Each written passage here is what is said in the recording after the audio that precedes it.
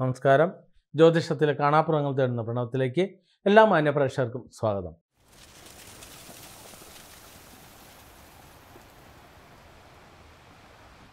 ഇന്ന് നമ്മൾ പറയുന്നത് ദൈവവിശ്വാസമുണ്ട് ക്ഷേത്രത്തിൽ പോകും. പക്ഷേ ജ്യോതിഷ വിശ്വാസമില്ല.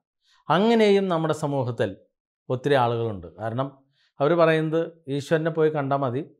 ബാധയും ഭൂതയൊന്നും ഇല്ല. ഇതൊക്കെ തോന്നലുകളാണ്. ഞങ്ങളുടെ നവോത്ഥാന നായക ദൈവം അങ്ങനെ പറഞ്ഞിട്ടുണ്ട്.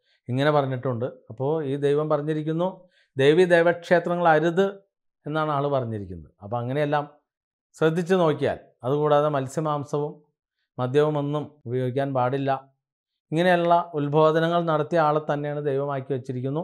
എന്നിട്ട് ആ ദൈവത്തിന്റെ അടുത്ത് പോവുകയും ചെയ്യും മത്സ്യമാംസം മദ്യം ഉപയോഗിക്കുകയും ചെയ്യും. അപ്പോൾ വിചിത്ര ലോകത്തിലൂടെയാണ് നമ്മൾ കടന്നുപോയിക്കൊണ്ടിരിക്കുന്നത്. അപ്പോൾ കൂടുതലും ഞാൻ മുമ്പ് പറഞ്ഞ തത്വത്തിലൂടെ കടന്നു പോകുന്ന ആളുകൾ ഈ വിഭാഗത്തിലുള്ളവർ തന്നെയാണ്. അവർ പറയുന്നു ദൈവവിശ്വാസമുണ്ട് പക്ഷേ ജ്യോതിഷ വിശ്വാസമില്ല നമ്മളറിയേണ്ടത് ക്ഷേത്രങ്ങൾ എന്ന് പറയുന്നത് എന്താണ് ക്ഷേത്ര ക്ഷേത്രസങ്കല്പം? അതായത് ക്ഷേത്രങ്ങൾ എന്ന് പറയുന്നതെല്ലാം നല്ല ഒരു മെഡിക്കൽ സ്റ്റോറാണ് ആ മെഡിക്കൽ സ്റ്റോറിൽ നമ്മുടെ ജീവന് ആവശ്യമായ നമ്മുടെ ശരീരത്തിന് ആവശ്യമായ എല്ലാ മരുന്നുകളും ആ മെഡിക്കൽ സ്റ്റോറിലുണ്ട് അത് തന്നെയാണ് ക്ഷേത്രം. നമ്മുടെ ജീവിതത്തിന് വേണ്ടുന്ന എല്ലാ പോസിറ്റീവ് എനർജികളും ക്ഷേത്രത്തിലുണ്ട്. പക്ഷേ ഏതേത് മരുന്നുകളാണ് ഏതേത് രോഗങ്ങൾക്ക് ഉപയോഗിക്കേണ്ടത്? ആ ഉപയോഗിക്കേണ്ട മരുന്നുകൾ കാണിച്ചു തരുന്നത് ആരായിരിക്കും? ഡോക്ടറായിരിക്കും. അപ്പോൾ ആ ഡോക്ടറുടെ സ്ഥാനമാണ് ക്ഷേത്രത്തിനെ സംബന്ധിച്ച് ജ്യോത്സ്യനുള്ളത്.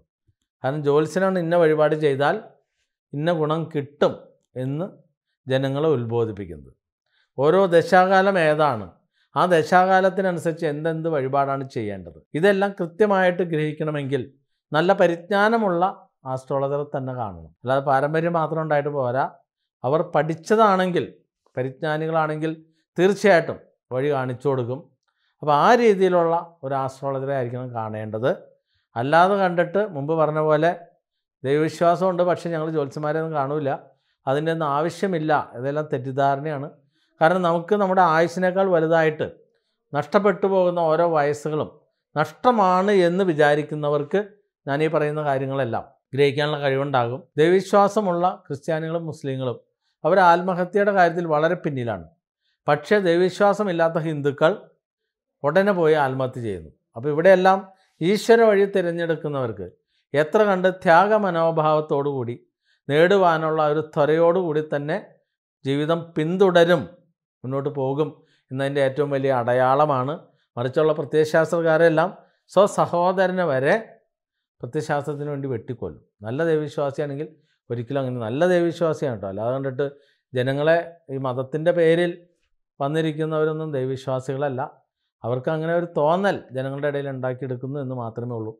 നല്ല രീതിയിൽ പുരാണ ഇതിഹാസങ്ങൾ ഗ്രഹിച്ചിരിക്കുന്ന ഒരാൾക്ക് ഒരിക്കലും മറ്റൊരാളെ ദ്രോഹിക്കാനുള്ള ഒരു തോന്നൽ പോലും വരികയില്ല എന്നതാണ് യാഥാർത്ഥ്യം. അതുകൊണ്ട് അറിയുക ഞാനീ പറയുന്ന രീതിയിലുള്ള വ്യത്യസ്തമായ ജനങ്ങൾക്ക് റിസൾട്ട് ലഭിക്കുന്ന മഹത്തായ മഹനീയമായ ഈ മഹാശാസ്ത്രം പഠിച്ചെടുത്ത്.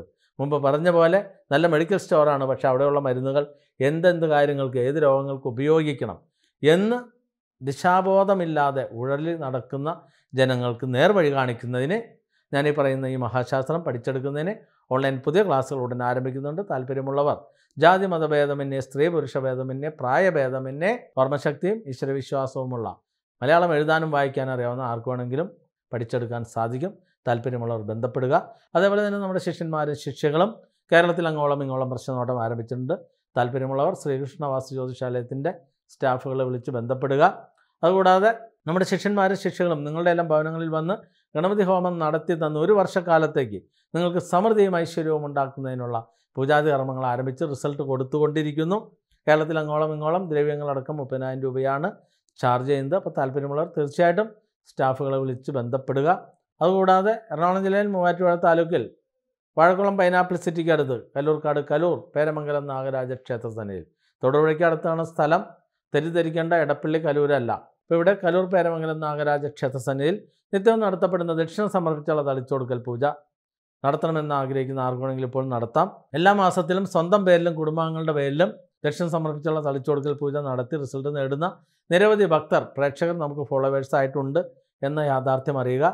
ഒരു ഗതിയും പരഗതിയില്ലാത്ത ഒരാളാണെങ്കിൽ പോലും നിങ്ങളുടെ ഭവനങ്ങളിൽ ഉണ്ടാകുന്ന പച്ചപ്ലാവില വാഴയില അടയ്ക്കാമര പൂക്കുല വീട്ടിൽ പൊടിച്ച മഞ്ഞൾപ്പൊടി ഇത്യാദി ദ്രവ്യങ്ങൾ പൂജാപുഷ്പങ്ങളെല്ലാം നിങ്ങൾക്ക് എന്ത് ദ്രവ്യമാണോ ഭഗവാന്റെ തിരുസന്നിധിയിൽ നിലവറയ്ക്കകത്ത്. നിങ്ങളറിയുക കേരളത്തിൽ നിലവറയ്ക്കകത്ത് എല്ലാ ജാതി മത ഭേദമെന്നെ എല്ലാ മനുഷ്യർക്കും കുലത്തിനതീതമായ തുല്യതയോടുകൂടി പരിഗണന കൊടുക്കുന്ന മറ്റൊരു ക്ഷേത്രമില്ല എന്നുകൂടി മനസ്സിലാക്കിയിട്ട് വേണം ഈ ദേവചൈതന്യത്തിന്റെ പ്രത്യേകതകൾ തിരിച്ചറിയാൻ. അപ്പോൾ ഈ ദേവചൈതന്യത്തിൽ എന്തൊരു ദ്രവ്യങ്ങളും ഏതൊരു മനുഷ്യർക്കും മനുഷ്യരെന്നുള്ള പരിഗണനയിൽ തന്നെ എല്ലാവരെയും ഒരേപോലെ കാണുന്നു. സനാതന ധർമ്മം പുലരുന്നു എന്നത് തന്നെയാണ് ഇതിന്റെ ഏറ്റവും വലിയ വിജയം എന്നുകൂടി അറിയുക.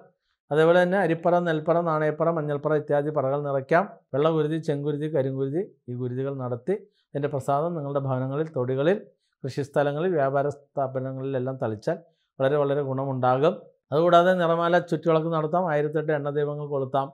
ആയിരത്തെട്ട് നെയ്യ് ദീപങ്ങൾ കൊളുത്താം. അതിനും സാമ്പത്തിക ബുദ്ധിമുട്ടുള്ളവരാണെങ്കിൽ അഞ്ച് പത്ത് പതിനഞ്ച് ഇരുപത്തഞ്ച് അമ്പത്തൊന്ന് നൂറ്റൊന്ന് ഈ രീതിയിലും നിങ്ങൾക്ക് ചെയ്ത് എന്റെ ഗുണങ്ങൾ നേടാവുന്നതാണ്.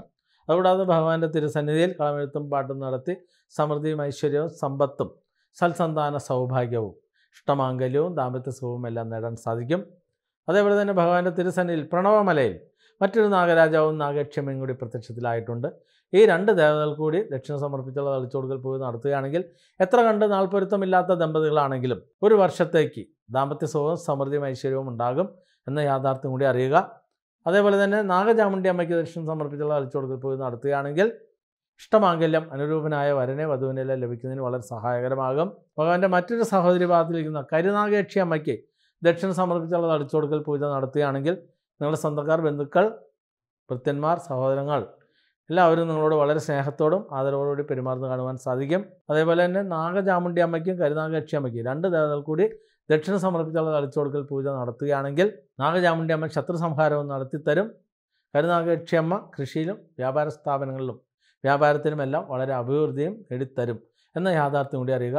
അതേപോലെ ഈ ക്ഷേത്രങ്ങളിലും നിത്യം നടക്കുന്ന നൂറും പാലും ഒന്ന് നടത്തിയതിന് ശേഷം നിത്യവും ഒരു രൂപ നാണയം തലയ്ക്ക് കുഞ്ഞു വെച്ച് പ്രാർത്ഥിച്ച് എന്റെ കലൂർ പേരമംഗലം വാഴും നാഗരാജാവെ നാഗദേവതകളെ എന്നെ എന്റെ കുടുംബത്തെ ഒന്ന് രക്ഷപ്പെടുത്തി തരണേ എന്ന പ്രാർത്ഥനയോടെ മുന്നോട്ട് പോവുകയാണെങ്കിൽ തീർച്ചയായിട്ടും ഇരുപത്തൊന്ന് അല്ലെങ്കിൽ നാൽപ്പത്തൊന്ന് ദിവസം ആകുമ്പോഴേക്കും ജീവിതത്തിൽ വലിയ മാറ്റങ്ങൾ ഉണ്ടാകും എന്ന യാഥാർത്ഥ്യം കൂടി അറിയുക. ഇവിടെയും വെള്ളകുരുതി ചെങ്കുരുതി കരിങ്കുരുതി ഈ മൂന്ന് കുരുതികളും നടത്താം.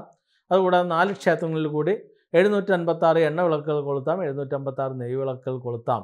ജീവിതത്തിന്റെ സമൃദ്ധിയിലേക്ക് നല്ല രീതിയിൽ ഹൈ സ്പീഡിൽ തന്നെ കടന്നു പോകുവാൻ സാധിക്കും. പത്ത് രൂപയുടെ ഒരു അർച്ചന നടത്തി അതിന് ശേഷം നിത്യവും ഒരു രൂപ നാണയം തലയ്ക്ക് വെച്ച് പ്രാർത്ഥിച്ചാൽ പോലും ജീവിതത്തിലുണ്ടാകുന്ന മാറ്റങ്ങൾ സ്വയം തിരിച്ചറിയുക. അതുവഴി ഈശ്വരയുടെ പുണ്യവും നേടുക. ഇന്നത്തെ പ്രണവം ഇവിടെ പൂർണമാവുന്നു. നന്ദി. നമസ്കാരം.